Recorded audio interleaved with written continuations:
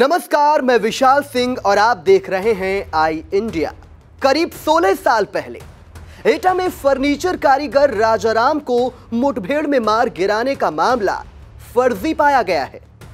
बुधवार को पूरे मामले की सुनवाई करते हुए सीबीआई कोर्ट ने पाँच पुलिसकर्मियों को उम्र कैद की सजा सुनाई है, जबकि चार पुलिसकर्मियों को पाँच पाँच साल की सजा मिली है।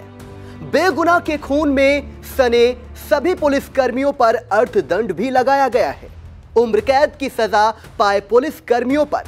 तैतीस तैतीस हज़ार और सबूत मिटाने के मामले में ग्यारह ग्यारह हज़ार रुपए का अर्थदंड लगाया गया है।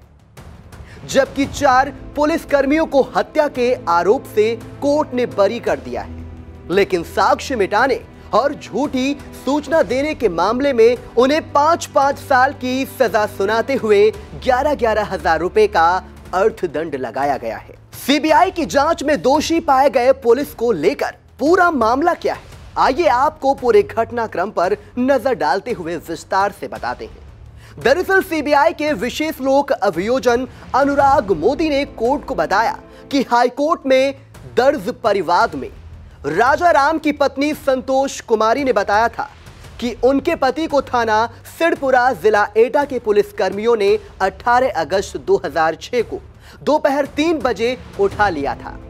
पति को पुलिस से छुड़ाने का प्रयास किया, लेकिन पुलिस कर्मियों ने कहा कि अगले दिन छोड़ देंगे। 28 अगस्त 2006 को थाना सिड़पुरा की पुलिस ने एक लुटेरे की मुठभेड़ में मौत बताई। शव को अज्ञात में जला देने के बाद बताया कि वह राजाराम था। संतोष ने बताया कि वो पहले केस दर्ज कराने के लिए थाने गए तो पुलिस ने भगा दिया। जिला अदालत में प्रार्थना पत्र दिया तो अर्जी खारिज हो गई। फिर वे हाईकोर्ट गए। हाईकोर्ट की लखनऊ पीठ ने सीबीआई जाँच के आदेश दिए। 2007 में जाँच शुरू कर सीबीआई ने 2009 में सिडपुरा के तत्कालीन थाना प्रभारी समेत 10 पुलिस कर्मियों के खिलाफ आरोप पत्र दाखिल किया था। सुनवाई के दौरान आरोपी दरोगा अंजट सिंह की मृत्यु हो चुकी है। आरोप पत्र दाखिल होने के बाद तेरह साल चली सुनवाई में 202 लोगों की गवाही के बाद साबित हुआ कि सिपाही राजेंद्र ने राजा राम से अपने घर की रसोई में काम कराया था। मजदूरी के पैसे न देने पर राजा राम सिपाही से अड़ गया था। इसी पर सिपाही ने साजिश रच ली। राजा राम पर भी एक केस दर्ज न होने के बाद भी सिड़पुरा थाने की पुलिस ने उसे लुटेरा बता दिया था। सीबीआई कोर्ट की ओर से दोषी पाए ठहराए गए। पुलिसकर्मी उत्तर प्रदेश के अलग अलग जिलों के रहने वाले हैं। आइए आपको बताते हैं कौन पुलिसकर्मी कहाँ का रहने वाला है। पवन सिंह, तत्कालीन थानाध्यक्ष, थाना सिड़पुरा जनपद एटा स्थायी पता, ग्राम बदेहरी। थाना छपार।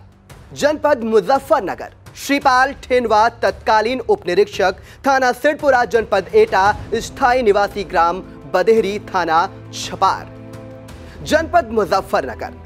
सरनाम सिंह तत्कालीन आरक्षी, थाना सिड़पुरा एटा स्थायी निवासी करुणामयी नगरिया थाना, बेवर मैनपुरी। राजेंद्र प्रसाद। तत्कालीन आरक्षी थाना सिड़पुरा एटा स्थायी निवासी डिनौली थाना डूडला, फिरोजाबाद। मोहकम सिंह, तत्कालीन सरकारी वाहन चालक थाना सिड़पुरा निवासी नंगला, डला तहसील करहल, मैनपुरी। बलदेव प्रसाद आरक्षी सिड़पुरा थाना निवासी कस्बा व थाना हरपालपुर, हरदोई। अवधेश रावत, तत्कालीन आरक्षी सिड़पुरा निवासी ग्राम नगला तेजा पोस्ट, रिधौरी कटरा थाना रुवेन, आगरा। अजय कुमार, तत्कालीन आरक्षी सिड़पुरा थाना निवासी ग्रामदीप, थाना घिरौर, मैनपुरी सुमेर सिंह, आरक्षी सिड़पुरा निवासी नंगला तेजा पोस्ट श्रीधौरी कटरा थाना रुवेन, आगरा।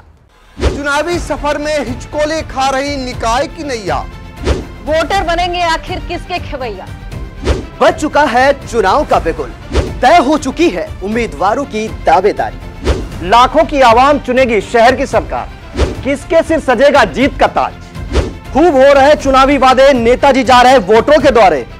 छह नगर पालिका पाँच नगर पंचायतों का होगा फैसला। चेयरमैन पार्षदों की तय होगी तकदीर। निकाय चुनाव का महा कवरेज लेकर आ रहा है आई इंडिया। निकाय की नैया में देखे वोटरों की पसंद। शहर की सरकार में जानेंगे निकायों का हाल। वार्डो से लेकर निकायों तक होगा सबसे सटीक विश्लेषण। तो हर रोज देखते रहिए सबसे भरोसेमंद न्यूज़ चैनल आई इंडिया।